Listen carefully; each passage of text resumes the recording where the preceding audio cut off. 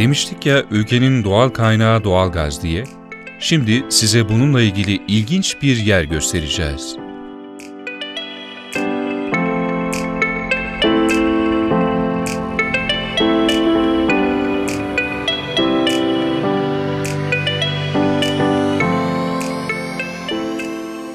...1971'den beri yanan devasa bir doğalgaz çukuru.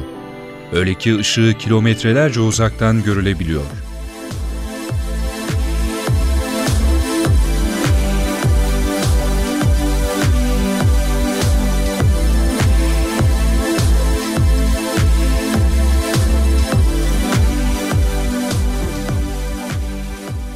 Tam 43 yıldır yanan bu çukura Türkmenler Cehennem Kapısı adını vermiş.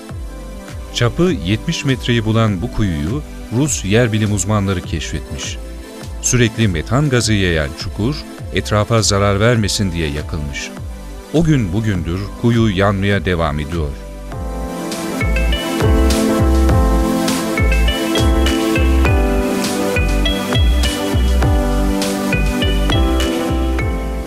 Türkmenistan, Darvaza'da, Karakum Çölü ortasında bulunan çukur gerçekten insanı hayretler içerisinde bırakıyor.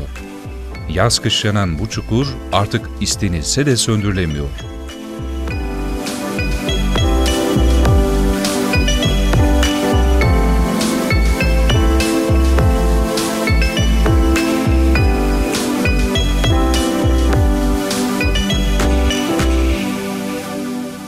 Çukurun yanına kadar normal bir araçla gidebilmeniz mümkün değil.